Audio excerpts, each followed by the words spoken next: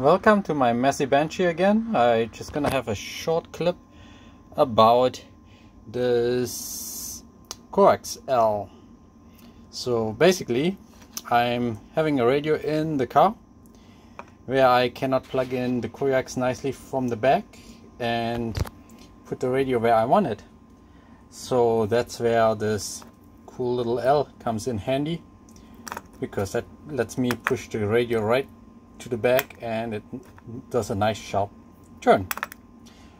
But of course everything comes at a price. So let's look at the price. First of all, we have there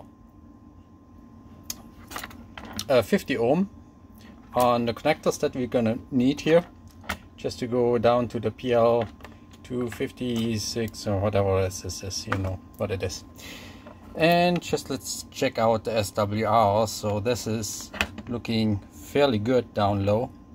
So let's go to the number.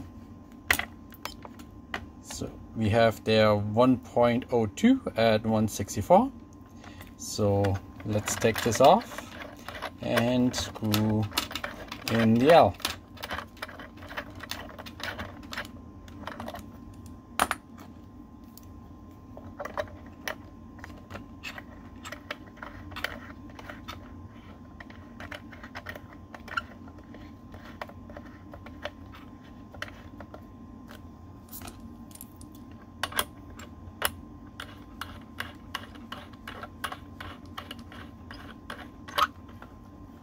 So let's see what the SWR looks.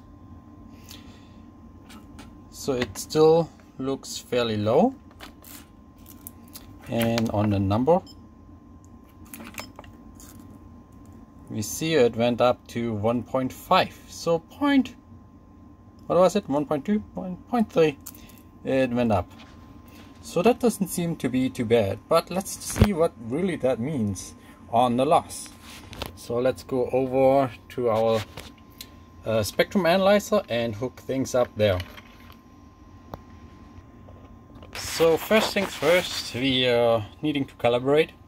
So I just have the adapters that I need for the coax to be connected directly nothing else right in there. So we're going just look at our two meter band so we have the center frequency at 146 and if you're taking our marker and move that at 146 oh close to enough. Yeah, that was good. So we go back to the tracking generator we normalize. And our marker says there is no loss. 0 0.01 whatever. So basically no loss. So what we do now is we put this in and see what losses we get on the signal. So let's do the one-handed screwing again.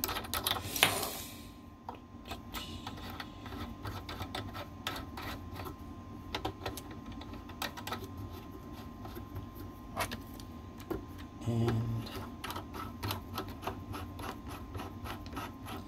So the only difference we have now is that L is in here. And up there we see already we have a 2 decibel loss just by adding that L. So that's the cost of having that L in your system. And while the SWR didn't seem to be that bad, it's still 2 decibel that is quite a bit so something to be aware of.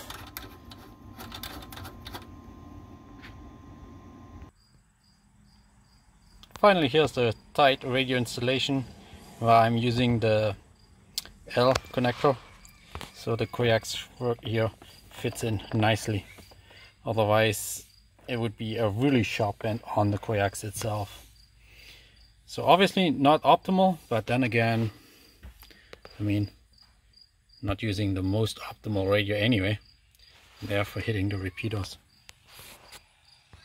So that's just something to be aware of.